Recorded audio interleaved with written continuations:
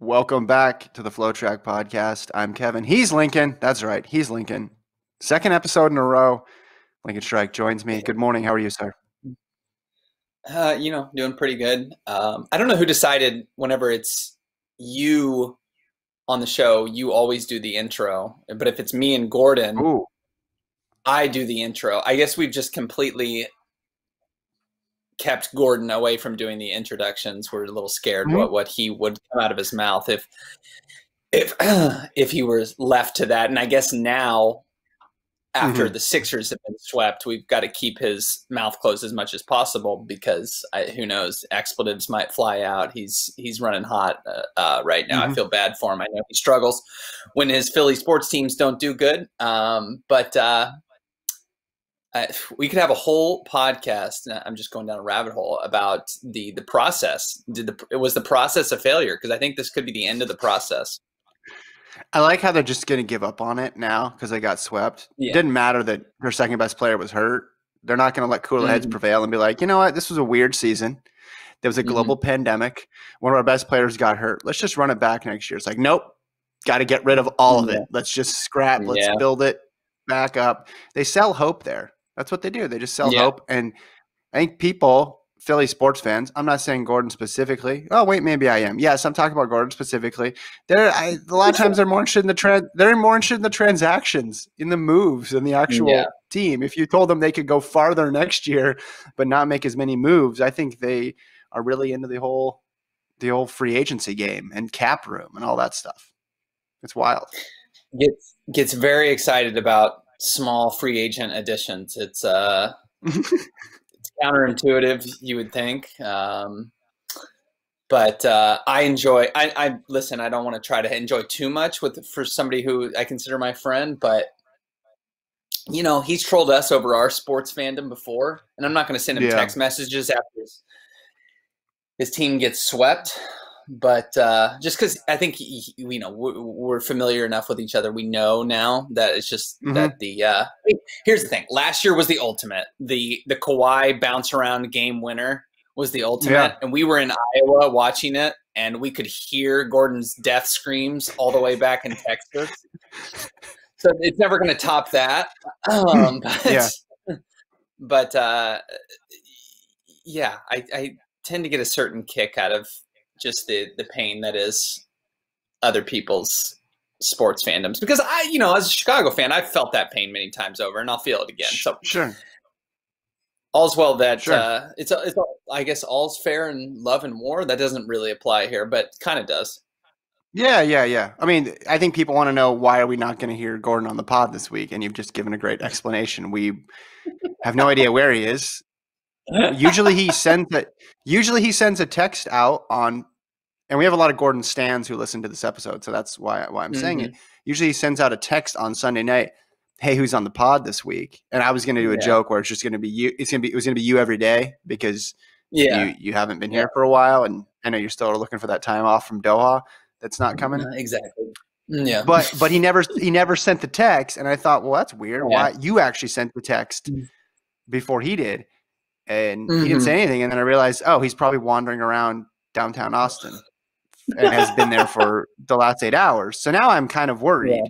now that we say it Yeah. so we should reach out after this episode i guess we have a meeting at we'll in, a, sure. in, a, in a few yeah we can touch Mhm. base with him but yeah, we'll make sure he's doing okay. let's let's talk tra- did you watch did you watch stockholm live yesterday did you watch it taped did you watch it in all its Um, glory. Yeah, I mean, I've, watched, I've since watched all the races. I uh, was sleeping in because the not last night, but the night before was a little rough with my three week old daughter. Uh, not too bad, but just this the the you know the waking up at four and just being totally awake at four o'clock. The tough one. The tough one to navigate. So I was asleep until like nine thirty. So I missed. I woke up to your text message. Not woke up to, but when I woke up, it was like you had texted me five minutes ago reacting to Warholm's uh, 4687. And uh, truth be told, I know he is it's, he's capable of a special time anywhere um, at any time. I, I didn't think like the Stockholm track historically has not been super fast, and it kind of bared out Mm. in the other events. I didn't think like the world record was under threat yesterday, and to, to my surprise, obviously he he he nearly did it, right? And he, you know, some people would say that you know him uh, grazing the the last hurdle cost him the world record. And so that's how close he came to it. So I was stunned that that he ran that fast, even though we expect a you know a remarkable performance every time Warholm uh, competes.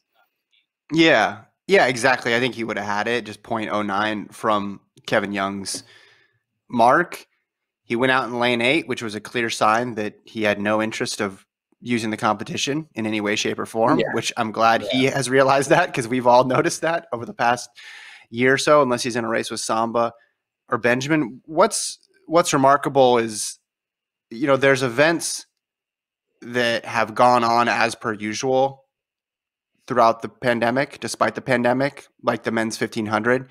You're getting Jakob yeah. Ingebrigtsen, you're getting Timothy Cheruiyot um, toe to toe. They're they're battling it out, and then there's events such as I don't know, the women's 4 meter hurdles, right? Sydney and Dalilah Muhammad didn't go to Europe, so that event is basically on pause for the time being. There's yeah. nothing's happening yeah. with that.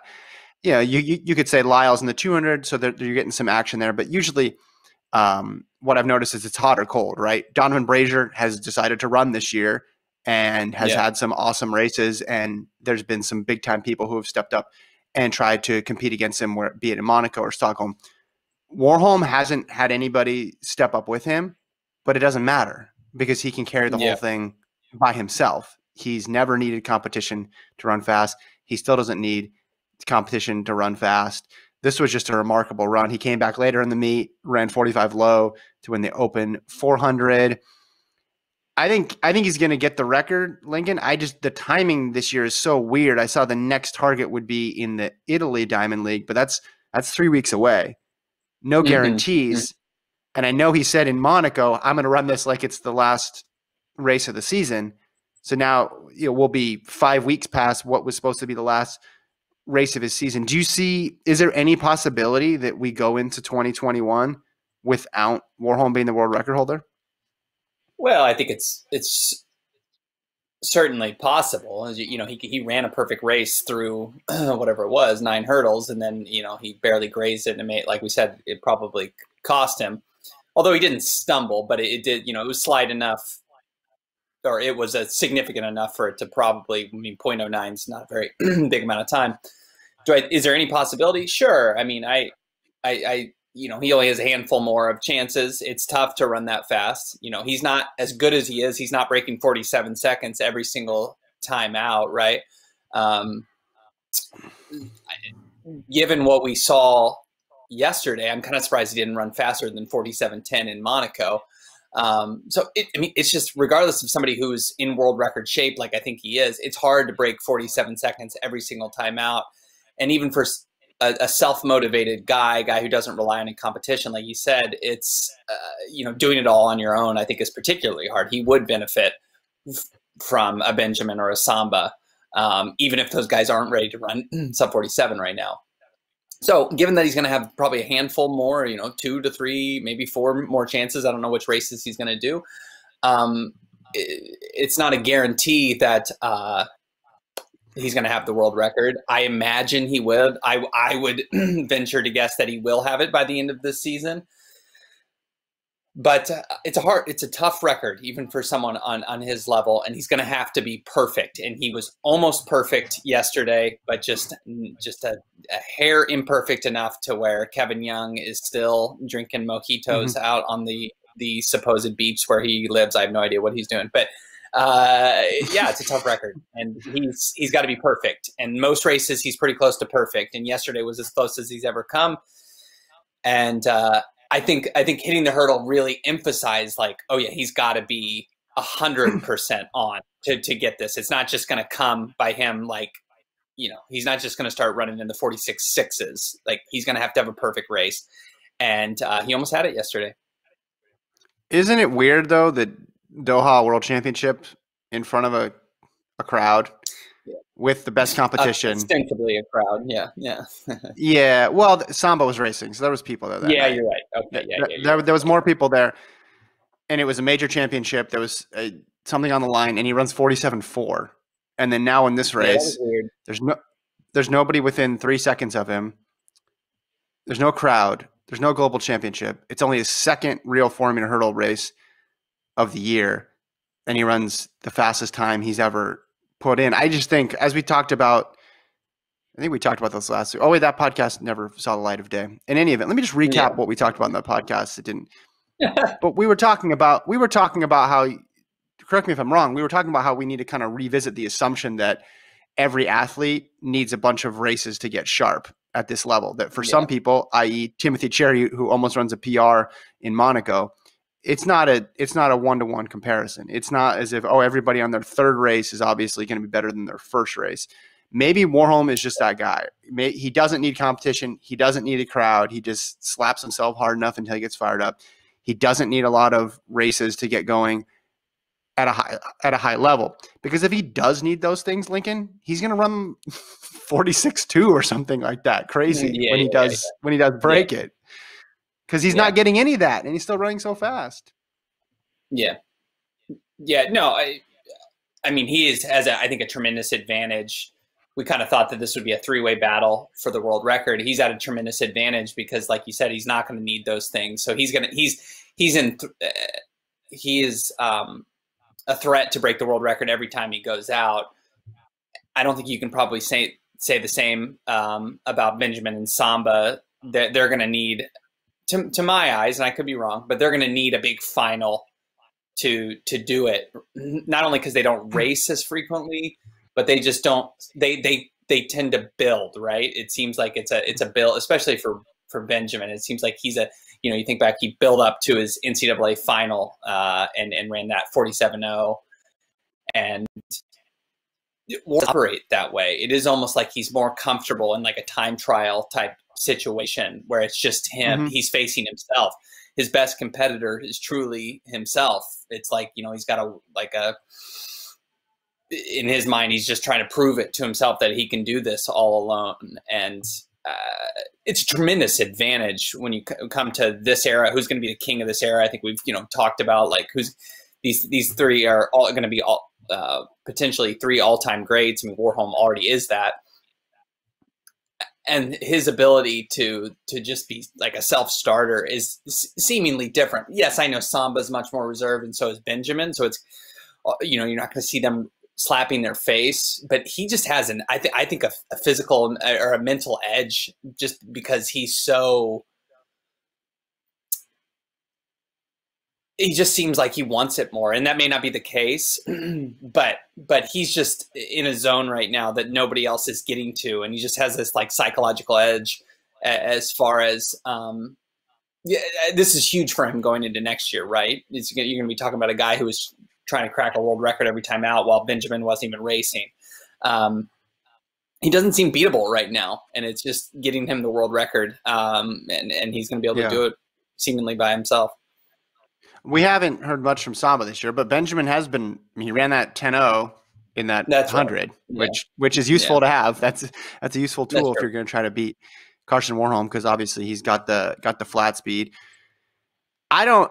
Yeah, I don't know if I don't, I don't know if he wants it more. I would say more. He's just his skill set is definitely more useful given the current predicament, and he's able to take mm-hmm. advantage mm-hmm. of it. Also, him being in Europe is a big help right yeah. now yeah, yeah. If if this course. if this circuit was happening in the U.S., if the Diamond League had most of its meets in the U.S., maybe we would see Benjamin running. Um, Don't you I'm think, not sure.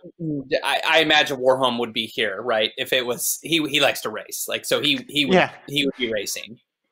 Um, he'd, he'd find his way. Find a way. If it was on, the, you know, if it was anywhere. I think he's he's showing up to to do things. But obviously, being Norwegian and you know being in Stockholm and then going to Monaco, like it's it's it's easy for him. So he has a distinct advantage. Yeah, maybe it's not uh, just because of the fact that he's screaming at himself and whacking himself in the face. And and, and well, the fact that he's doubling in a meet where he nearly broke the world record doesn't necessarily mean he wants it more. I guess that's that's uh, that's that doesn't bear out, but gosh, this guy's eager, right? He's, I mean, like, well, who, yes, who else he, doubles? Who, else doubles? It's not like Cheptegei was going to come back after the 5K and like, yeah, let me hop in that 1500. I'm ready to go. Like, who else does that? Yeah. yeah. He, he's trying to capture the moment and he's doing mm-hmm. what we were imploring other athletes to do earlier this year who had huge breakthroughs and huge PRs. I think yeah. that is what is separating him a bit, not just in his own event group, but from other athletes in general. I think he and his coach appreciate the fact that there is nothing guaranteed. There's nothing that's saying next year he's going to be better than this year. There's nothing that says when he gets in a race with Samba and Benjamin that they're going to run that fast and he's going to necessarily be the one to get the world record. So he's going to take shots at it. He's yeah. trained his life for this moment. Did it come in an awkward year when there's no fans in the stands and competition is lower? Yeah, it did. But I think they're also thinking this is a once in a lifetime opportunity.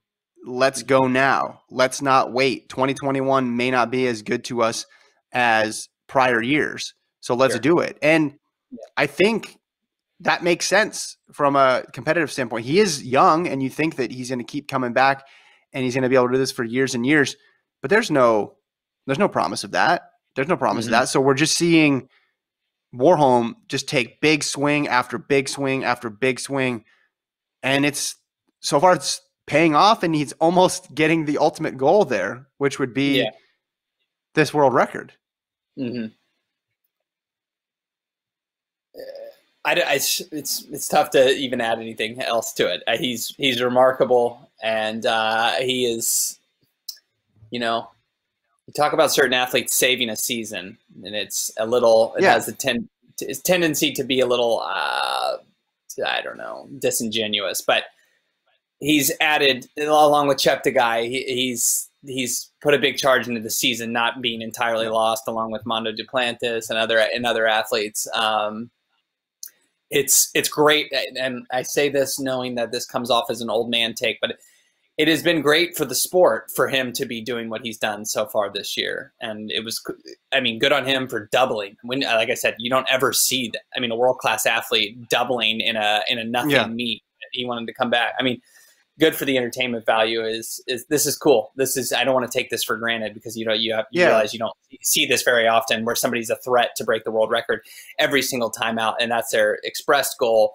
and you know it's not a well we'll see what's going to come i have no hmm. idea what i'm going to run it's no i'm trying to break the world record every single time i come out uh, that just doesn't that just doesn't happen very very often and uh, it's it's it's it's more than we could have asked for in a in a lost season. It's pretty incredible. He's not overthinking it, is mm-hmm. what you're saying. Basically, he's not overthinking it. He's saying, "I'm going to enter my best event, and I'm going to run it as fast as I can every single time. There will be no yeah. games. There will be no tricks. I might double, but I'm going to run my premier event first, and then I'm going to yeah. run a second event just to show you how good I am. But this is it. This is what I'm going to do. There's not going to be any any dodging my event. There's not going to be any gimmicks. I'm just going to go straight at it as hard as I can every yeah. single time. And well, you're right. Forward, I, I see why that has appeal. Yeah, going forward, if I can give him any advice, I mean, just make sure to start a little bit quicker. I don't think his start has been fast enough. So, uh, no, I, to, to answer your question a long-winded way, I, I think he has the world record. I by the end of this year, that's not an, a hard take, but but um, gosh, if he doesn't, it's just going to be like it's it's you feel you're going to feel bad for him just because he's come so close now and he's he's approaching the season with reckless abandon, so he deserves to have it. But uh, it's uh, some parts of me want him to do it, and then some parts of me wants him to do it in like the Tokyo final, where it's just going to yeah, be a ridiculously fast race. Where you know they could, I, I, it won't, the record won't last until the Tokyo final next summer. But it, you know, I remember being in Doha and and I you we were sitting next to each other and I thought he broke the record because my brain went to 46 4 as, as opposed to 47 4 and so I don't know you want there's some track and field itch to to want to see fast times all happen in, at the highest level and not at the you know the Stockholm Diamond League with no fans. Um, yeah. but that I don't think it's going to last that long. Um, But yeah, know, well, especially him, there, especially him, right? If it lasts that long, it's not necessarily a bad thing. He's going to get it eventually. Yeah, yeah. Well, especially him. J- Jason and I were talking about this last night on another podcast I do, House of Run. I, and I'm with you. I want. I didn't want him to get it. I didn't want him to get it selfishly because I thought this guy deserves the crowd. This guy deserves yeah. the stage. Mm-hmm. It shouldn't be done when he's in lane eight with nobody in the stands except cardboard cutouts Yeah. in a in in on a, on a Sunday morning, uh, Yeah. well, U.S. time. I guess Sunday Sunday afternoon Stockholm time. That's just it's not befitting who he Mhm. is as a racer, Yeah. and it's not befitting a major major world record. But Right. I don't think he cares about that. Clearly, he's wired differently. He's just going to go for it. Um, Yeah. Brazier, ten in a row in the 800. Who saw Yeah, this this coming? Yeah. Just kidding. Uh, this one was bumpy. I felt like it was a kind of a like Monaco felt like a weird race, and then this one was even a little stranger. He never looked entirely comfortable. I think 200 meters to go, he was kind of boxed in. Uh, but then his last hundred, as usual, was just incredibly elite and blew everyone's doors off. Um, I know that it's been reported. I guess he's dealing with a little foot issue, which it's always interesting because with track athletes, typically if you know they're dealing with something, they're going to try to not race, and you would think, oh, it's an injury type thing in a in a lost year. You would think, oh, shut it down. So I, it's hard to know the severity of it. Obviously, he's still winning, but it is nice, you know, as he progresses as an athlete, to see him win, even when things aren't exactly you know going to plan. It seems like he's much, to, to my eye, he's much better suited, to, and everyone is to an eight man race in the in the 800 this this pacer thing on, on the, when people starting in the same lane i think is kind of tricky and you got marco arop in front of you you're trying to navigate that. It's, i think it's a little complicated for the 800 um, he's figuring out obviously how to do it. Uh, it doesn't seem like there's going to be an american record this season. I could end up eating my words but it, like I said, it's good for him to figure out different ways to win as opposed to just blowing everyone's doors off from 300, uh, 300 or 400. Yeah, I, I looked at this race differently than you. I it looked like he knew exactly what he was doing, and within about What do you 150 meters, I well, I saw him settle into the back of the pack, and I thought this is going to be the the Diamond League final race plan. This is not going to be the No, Doha World Championship race plan Okay. of, hey, I'm not going to go for the world record. I'm just going to try to work on my clothes here, and I'm going to sit and sit and sit, and then when it's time to go, I'm going to go. He looked like he was, to me, in control the entire time, but was not really interested in chasing a fast time. And I think part of that is, Sure. and and this is me just speculating. Did not talk to him about it, but if he were to come back on our podcast, I would say this to him, and he would probably agree with me. I think he already has the American record. He already has the American Mhm. record. If he, were, if he goes out and runs 142.2 or 142.1, are we thinking about Donavan Brazier differently, drastically differently? No, he gets his PR a couple ticks faster, but until he's ready to really leap into those 141s, then I think everything, every improvement is just icing on the cake at this point. And I think they wanted it was his third race in a week, and I think they had more to gain by Mhm. thinking, okay, let's let's just run this thing tactically, move on. I think this was the last race of the year. I'm not 100 percent on that, but I think I feel like they said this- that. I, I thought I read that maybe he's going to do one other one. I could I could be wrong. Um, I don't but I think he just looked remember at the. where- La- yeah. I stand corrected. I stand corrected. But I think he just looked at the landscape and said, and looked at the race and said, "This is how I'm going to run it," because he seemed to be in in the spot that he wanted to be in. Look, okay. if Donovan, here's here's my here's my prior.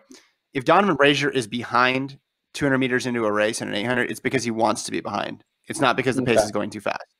So like, yeah. if he probably a good wants if he wants to get behind the rabbit, he can. Nobody has the top end speed that Brazier does. If he had a foot problem or not, I don't doesn't matter. He's still just so much faster than everybody else, top end in in, Mhm. in that race.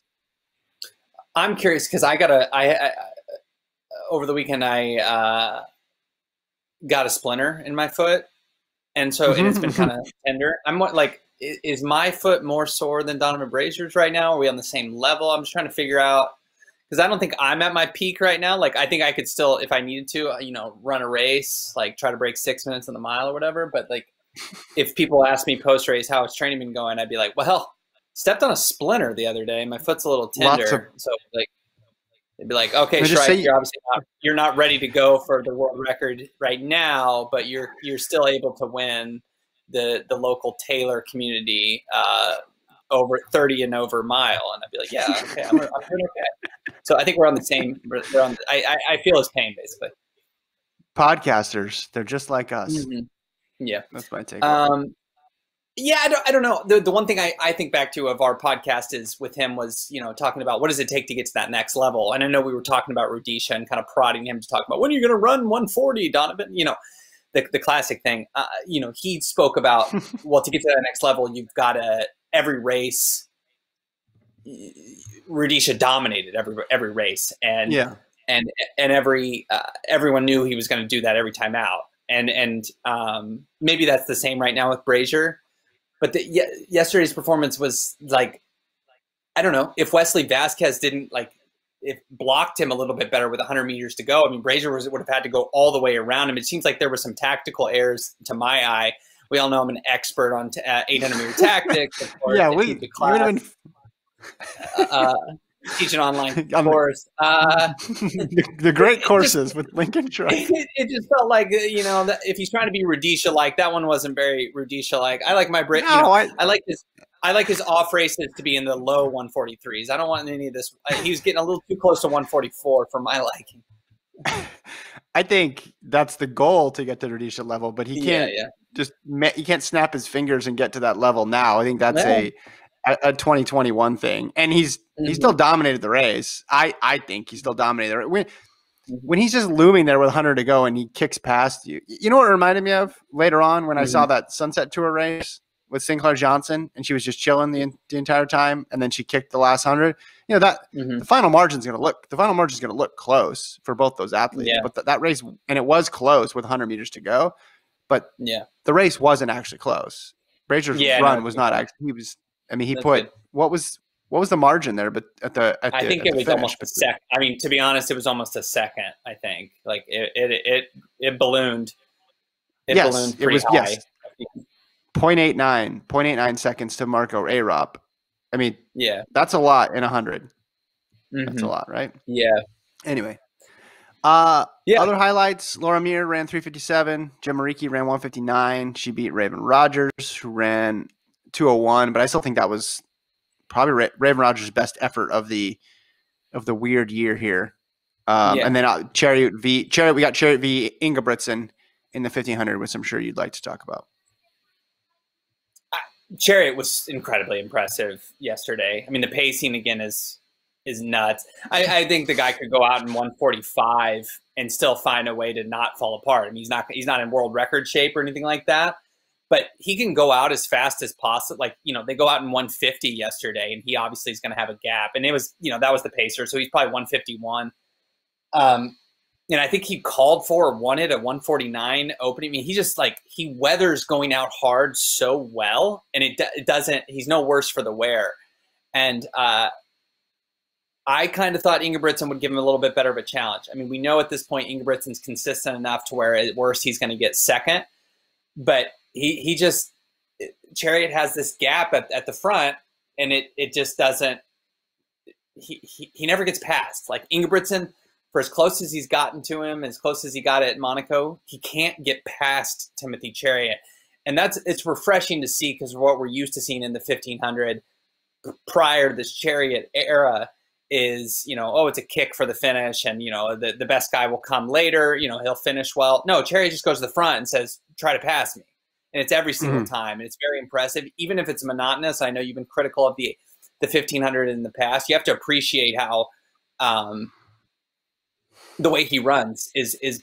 I mean, it's. It, as for as entertaining as when Kiprop was at his peak, and you know he was coming from twelfth to first or whatever it was, or yeah, yeah. you know what, whatever you know go go back to, to previous eras. Um, this is this, this is, a, is my, he's a gym my, He's a gym class mile runner. That's what Timothy yeah. Cherry is. He's the world's best gym class mile runner, which is I'm going to sprint out because yeah. I don't have any sense of pace. I'm going to yeah. keep cruising along. And then when someone gets on my shoulder, I'm just going to stay in front, stay in front, stay in front, stay in front. I'm never going to yeah. relinquish the lead. Mm-hmm. He seems, he's a nerd, it seems, from typical fatigue patterns that most athletes would exhibit. And most people, mm-hmm. once it starts going bad, it gets really bad. With Jerry, he's slowing down, but he's always keeping something in the tank so that way he can just yeah jet jet away when he needs to. To be, to be clear, the last hundred yesterday, he looked pretty fried. I mean, his form was breaking down, but still, yet Ingebrigtsen couldn't keep up. And I, you know, I, I think yep. Ingebrigtsen's running a great race plan. He's running within himself, and when it when it's going out in 54 flat, he is staying back and saying, "I'm going to run 55 mid." And yeah. it's I don't think he's being overly cautious. Um, it, eventually, at some point, I'm sure whether it'll be in a, an Olympics or sometime, like you know, he'll he'll beat Cheruiyot. I don't think Cheruiyot at this point is unbeatable.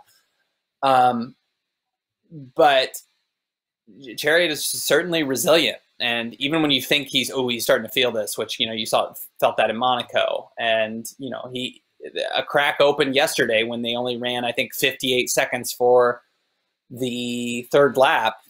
Still yet, yeah. still yet he he's he's hanging on and and and and it's it's uh it's pretty impressive. Even when the time's like 3:30 and you're like this is another lame 3:30. Um no, it's lame. He, he made it entertaining. I mean, the splits are not what you want, but when you win every time, yeah, whatever. Yeah, it, it worked. Yeah, no, he's. I mean, he's he's great, and I think, I think you and Gordon think he's going to lose earlier than I think he's going to lose. I I think mm-hmm. he is just he's running to the level of his competition right now, mm-hmm. and. I think in a full seat, I think he would be someone who would benefit from more of a lead up. I mean, we know what Lil Britson was doing earlier in the year because he was running road 5Ks and he was running really mm-hmm. fast. Mm-hmm. Uh, we didn't know much about what Cheruiyot was doing and how he was approaching the season, other than he was in the uh, world's most uh, unfortunate two, remote 2K of all time. Uh, yeah, with the with the altitude and the wind and the wet there in mm-hmm. in Kenya, competing against the um, Ingebrigtsens over in in Oslo. I yeah. think yes, he, he came out of the gate hard and uh, you know almost ran that almost ran a PR in in Monaco, but I I I think he can break the world record again. I I think that is definitely in play um, mm. next year. Interesting. Yeah, I think I think it's a matter of time. I think that one is.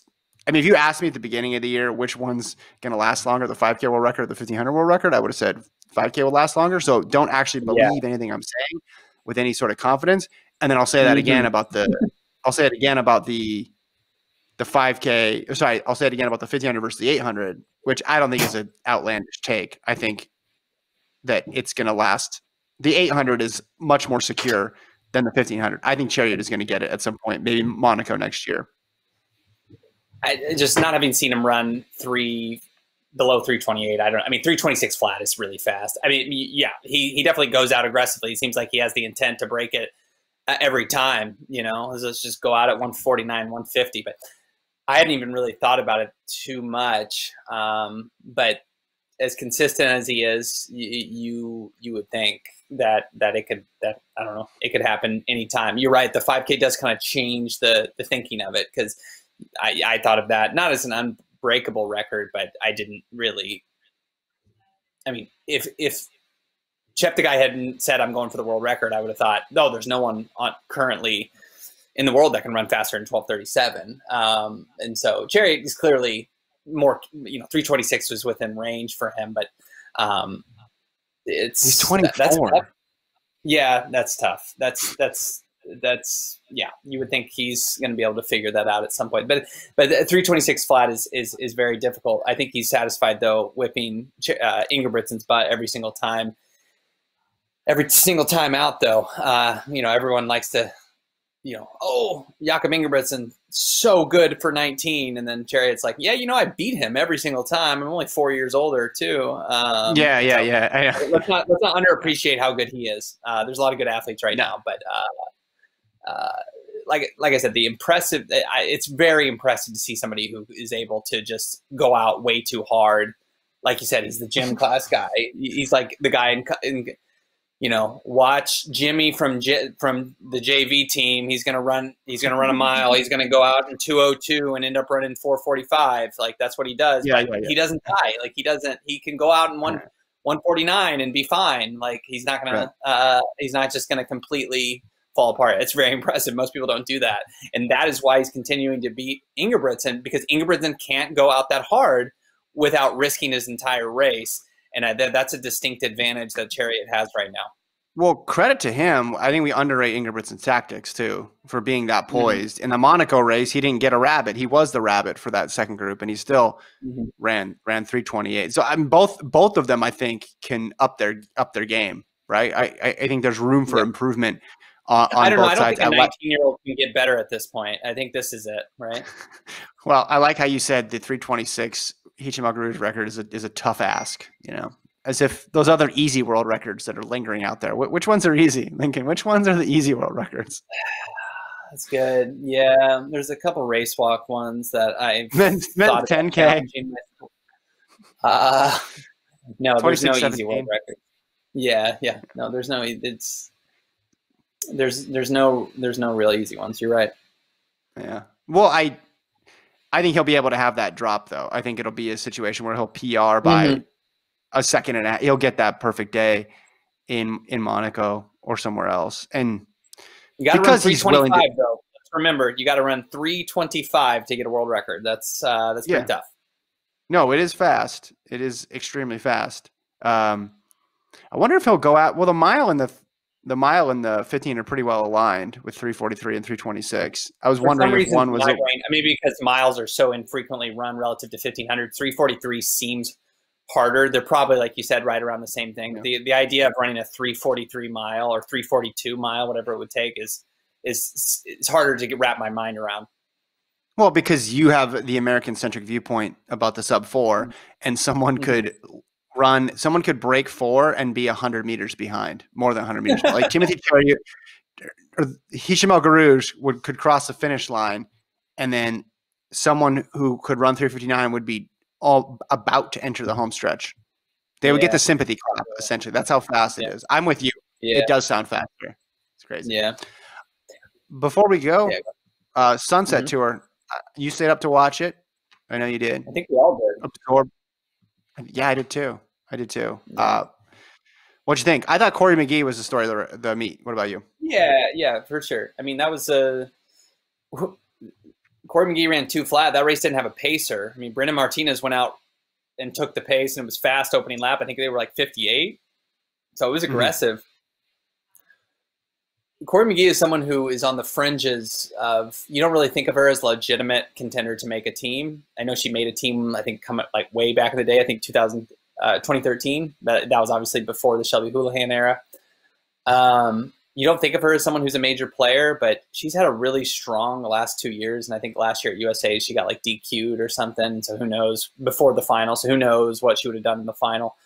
Um, but running two flat and then, you know, running, I think a 403 PB, you, you got to really seriously con- consider her as a, as an Olympic team contender. Um, you, it's hard because you you look at Shelby Houlihan and then you look at uh, Jenny Simpson. They're locked in, and then you know there's one spot between anybody between Kate Grace, Nikki Hiltz, uh, Sinclair Johnson, uh, maybe a couple others. But who of those vying for that third spot next year? Who's had the best season? It's certainly been Cory McGee. Uh, and two flat is a mighty impressive time. And so was it for, you know, Emma Coburn to run 201 and, you know, yeah. I think Rebecca Mehra ran faster and ran 201 as well. I mean, it was a very impressive 800 for no, no pacers. And, you know, we got excited when Shelby last summer ran 159, and here's another competitor running running two flat, and maybe would have been faster if, if, if having the pacer. Yeah, it's been a quietly very strong season for for Cory McGee, and uh,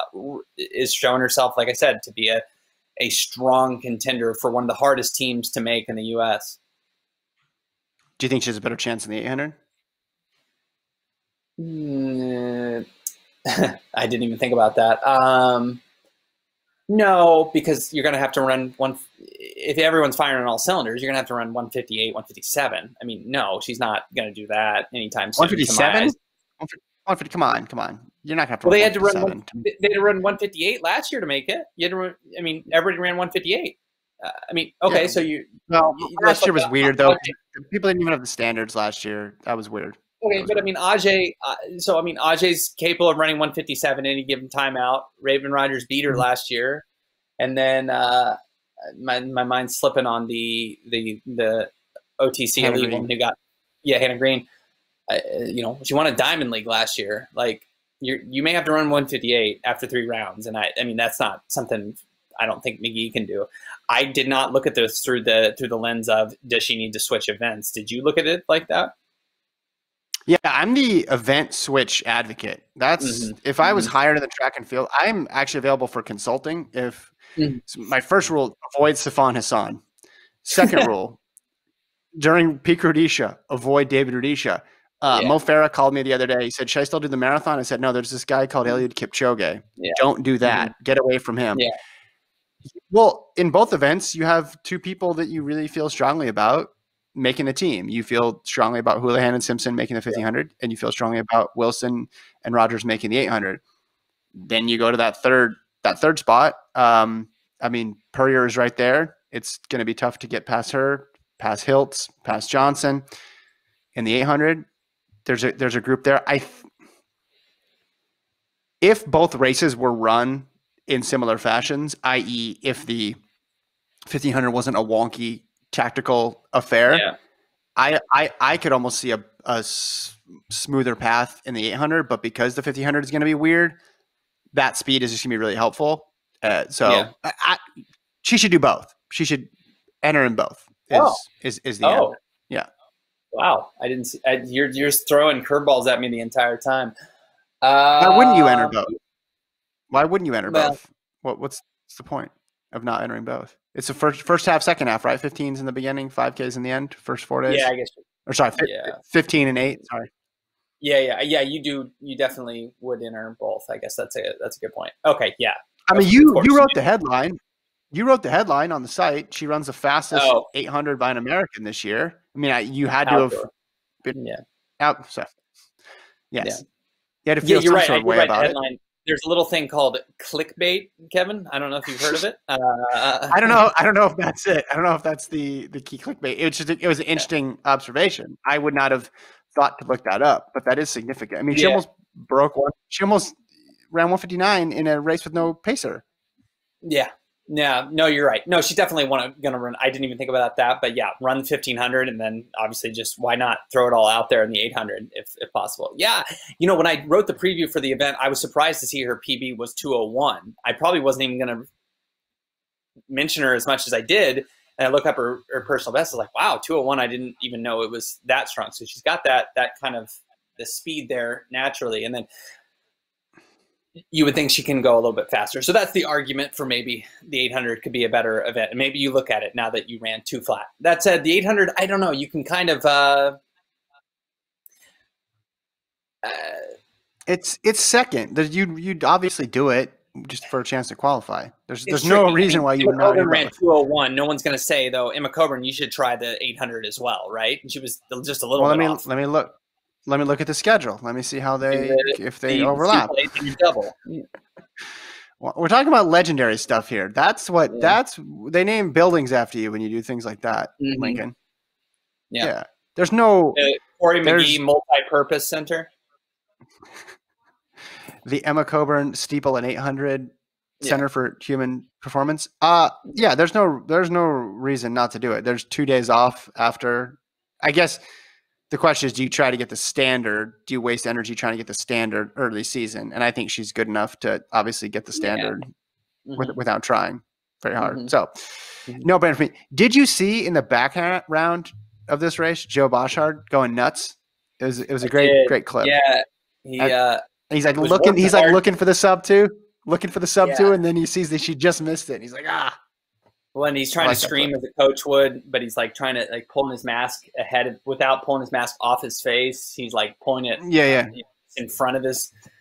Uh, you know, everyone's. It feels like I'd be interested to see everyone's evolution with masks. Like you know, I started with like a very surgical, like medical Mhm. mask, and then I've gone a little bit more towards like functionality, given how how much I have to wear a mask when I go out. Um, be curious to see everyone's mask situation. Like, is that the mask he started out with? Did he just wear it th- before the race, and then he realized, "Oh, I'm not going to be able to do my coaching duties because his mask is a little tight." I mean, my Yeah. son is kick, kicking my butt right now. He's got a Spider-Man mask. Like, is like, are you are you you are, do you rock a, a, cloth mask or a or like a surgical type mask? Uh, cloth one. A cloth yeah, one. Yeah. It's double, double, double layered, very smooth. Mine has a megaphone out of it though, so I'll sell them to any coaches. It just I can yeah. yell splits very effectively. Mm-hmm. Uh, so, before we go, so Carlos Villarreal uh, won the men's mile. Sinclair mm-hmm. Johnson, as we mentioned, won the women's uh, 1500. Lauren Paquette and Kellyn Taylor went one, two in the women's 5000. Then Cheserek, yeah. to no one's surprise, won a tactical men's 5000. You're, why are you laughing? Oh, just, uh, yeah, it's, it's uh, you would have liked someone else of his ability, obviously, in that race to make it a little quicker. I think the conditions were supposedly a little tough, but I was a little disappointed with the times in both 5000s.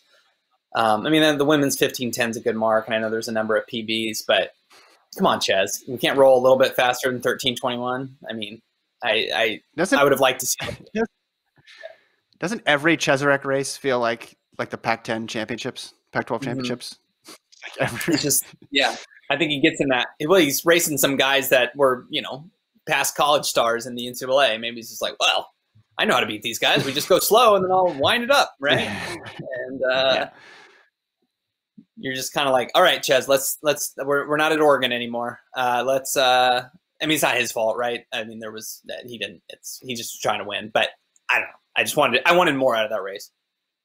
Yeah, Klecker and Hoare both broke thirteen thirty. I think I know you thought Klecker would have a bigger I think he was bigger I, PR. He PR, but I think he was having a pretty off race. It seemed like to. I, I think he's significantly better than Ollie Hoare in the five thousand on on a typical day, and he got beat by him, and it was a good race for Hoare. But yeah, I thought Klecker maybe would be a little bit more competitive, and I thought he'd run in the 13 teens. It wasn't meant to be though. They just were too. There's way too many like 66, 67 laps in there, and it just wasn't yeah. Consistent. And it could have been owed to the conditions. So, so maybe next yeah. sunset tour. It's tough with no. Week it's tough with no with no pay, pacer and no. Well, wait, they had Kieran, Kieran Leonard was there for a little bit, right? Just but not, few, not long laps. enough for it to be a significant. I mean, you got to go through 3K obviously to make it. I feel like you know a chance to run a fast time, and it's just he wasn't in there for that long. Yeah. Um, good point. Good point. All right, we'll leave it there. FloTrackpodcast mm-hmm. at gmail.com. Lincoln will be back by himself tomorrow to do the full hour. He's taking your calls. One eight hundred call Link. No. Yeah. Call Lincoln. Maybe we'll read some emails tomorrow. Maybe we'll read some emails. There you go. By we, I mean whoever is on yeah. the show tomorrow. Anyway, mm-hmm. thanks, Alon, for producing. Thanks to you, Lincoln, and we'll talk to you guys tomorrow.